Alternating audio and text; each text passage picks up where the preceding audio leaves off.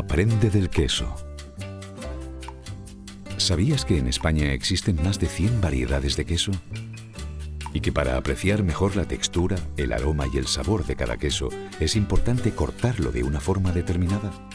Cada tipo de queso requiere un tipo de corte.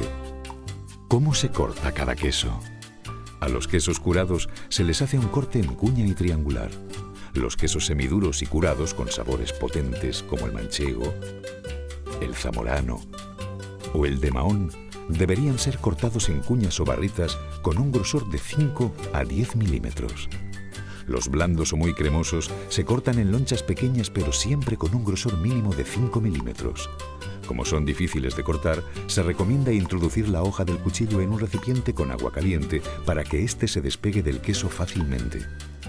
Los quesos como el cabrales se pueden presentar en pequeños tacos o en bloque, para que los comensales puedan servirse directamente con la ayuda de un cuchillo. Los quesos con corteza enmohecida se cortan con corteza y en lonchas, como los blandos.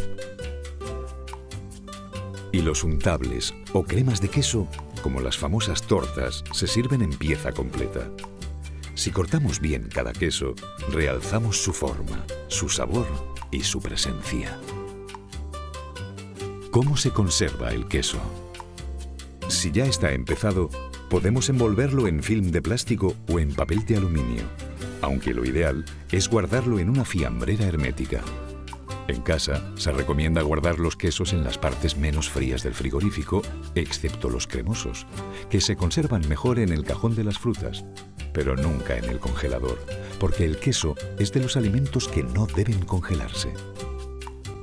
Para apreciar todas las cualidades del queso, es importante sacarlo del frigorífico una hora u hora y media antes de consumirlo, procurando cortar solo la cantidad que vamos a consumir. Recuerda, para descubrir todas las sensaciones que esconden nuestros alimentos, entra en alimentación.es. Saber más para comer mejor.